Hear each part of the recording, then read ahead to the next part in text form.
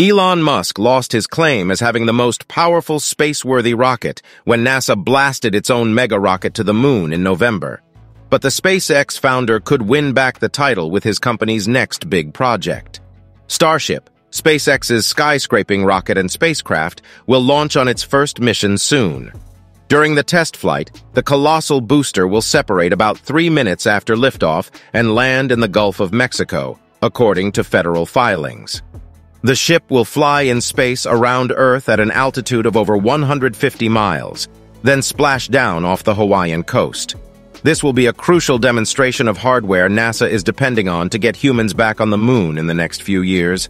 And, if successful, it'll mean Musk is one small step closer to realizing his personal dream of building a city on Mars. Musk tweeted on February 9th that the company completed a major test of Starship's 33 engines. During a firing of the booster on the ground, which was broadcast live on Twitter, 31 of the engines were lit for the full duration of the test, he said, which is still enough engines to reach orbit. The billionaire business magnate has oversold timelines in the past, but here's what we know so far. What is the SpaceX Starship? Starship is a super heavy lift rocket and spacecraft, built to carry immense cargo and numerous astronauts into deep space. The 400-foot-tall stainless steel tower looms over NASA's rocket, the Space Launch System. It would take about five billboards stacked on top of the ladder to measure up to Musk's space vehicle. SpaceX estimates its rocket also has about twice as much thrust. The rocket is made of stainless steel, a material Musk is particularly fond of due to its relatively low price. Unlike NASA's Mega Moon rocket, which flies on super-chilled liquid hydrogen and oxygen, this beast is fueled with 10 million pounds of liquid methane and oxygen. The new fuel can be stored at more manageable temperatures than liquid hydrogen, meaning it doesn't need as much insulation and is less prone to leaks, a problem that often stymies NASA launches. Starship is intended to evolve into a fully reusable launch and landing system designed for trips to the Moon, Mars, and other destinations. Its reusability is the holy grail of space, Musk said at a company event in South Texas last February, because it will make spaceflight more affordable to the average person. It's a very hard thing to do, he said. It's only barely possible with the physics of Earth. It's only barely possible with the physics of Earth. How will NASA use Starship? NASA plans to use starships to land astronauts on the moon during Artemis 3 and I-4 two upcoming missions which could come as early as 2025 and 2027, respectively. The space agency has tapped SpaceX to develop a human landing system version of Starship with a $4 billion contract. As part of the deal, the company will need to demonstrate an uncrewed test flight to the moon beforehand. During Artemis III, Starship will transfer astronauts from NASA's Orion spacecraft to the lunar South Pole and back. But in the fourth mission, Starship is expected to dock at a moon-orbiting space station, the yet-to-be-built Gateway, and ferry astronauts back and forth to the moon. NASA Administrator Bill Nelson told reporters in December that SpaceX appears to be on schedule with the contract and intends to do an uncrewed moon landing toward the end of this year. That mission would be followed by another landing with astronauts in late 2024. Slips are always possible because it's a brand new system, Nelson said, but they have been quite impressive with what they have done with other systems. When is Starship's first space launch? SpaceX is indeed close to launching Starship, despite the fact that the company has not formally announced a date. Shortly into January, the company stacked the jumbo rocket at its launch pad on Texas's Gulf Coast, then loaded it with fuel for a so-called wet dress rehearsal. SpaceX said the test, a key practice run for any new rocket, was successful.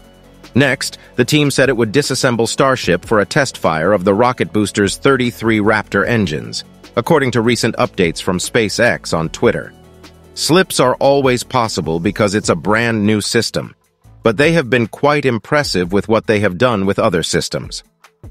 But in order for Starship to actually reach ignition, the Federal Aviation Administration must license the launch, which won't be done until SpaceX meets all licensing, safety, and other regulatory requirements, according to an agency statement given to Mashable in January when asked for the status.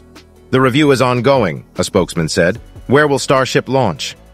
Perhaps surprisingly, Starship won't lift off from Kennedy Space Center in Cape Canaveral, Florida, where most space fans are accustomed to watching historically significant launches. Instead, it will take off from Boca Chica, Texas, at SpaceX's own spaceport.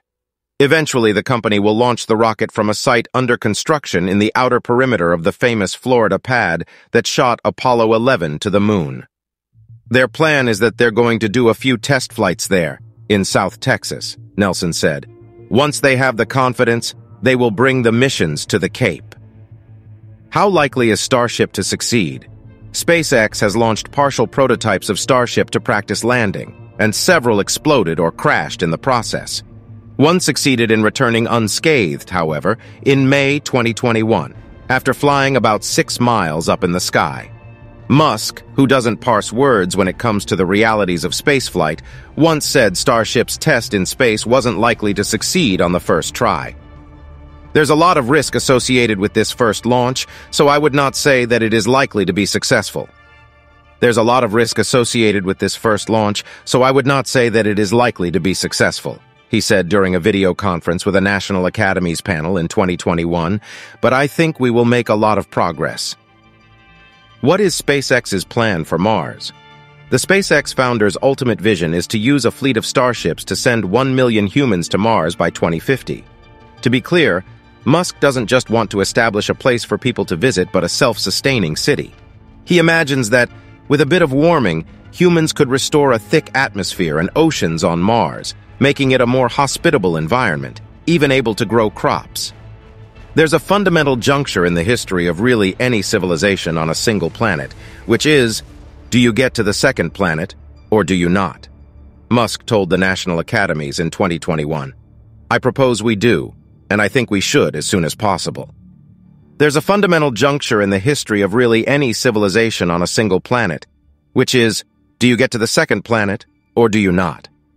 The spacecraft would be spacious enough for 100 passengers, along with their luggage, plus the materials to build homes, businesses, rocket fuel stations, and iron foundries.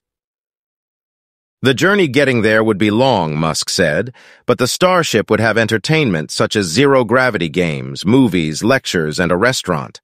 It can't feel cramped or boring, he said at the International Astronautical Congress in 2016 in Guadalajara, Mexico. It'll be really fun to go. You'll have a great time.